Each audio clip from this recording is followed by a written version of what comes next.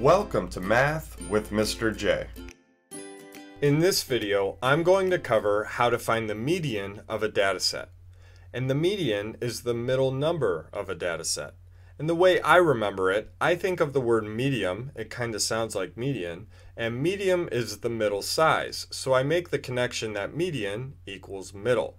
Because sometimes once you add mean, median, mode, and range and put them all together, it can be hard to think about which is which. So you have to make connections, and my connection is medium equals middle size, and it kind of sounds like median.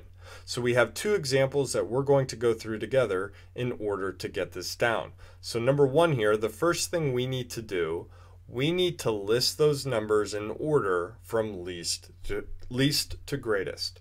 So our first number, our lowest in value, is this 2 here. And I cross it off. That way I don't count it twice or forget or forget anything. Then we have three threes.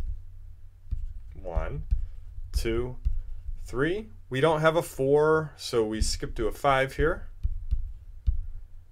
Uh, don't have any sixes, so then seven, eight, nine, and then 10.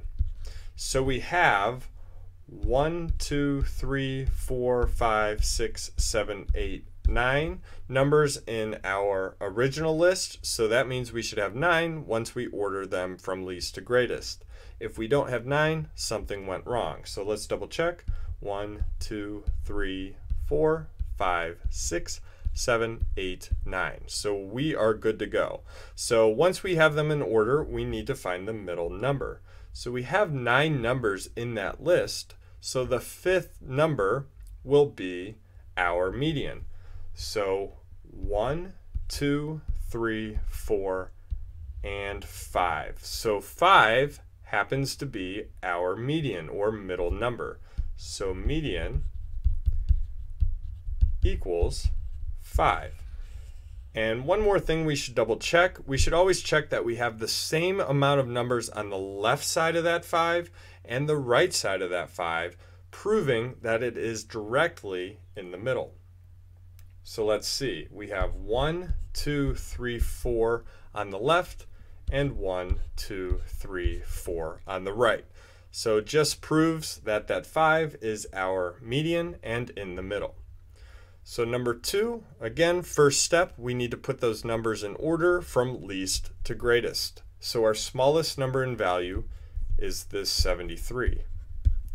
Next comes the 82. Then we have an 83,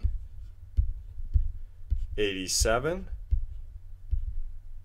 90, and 96.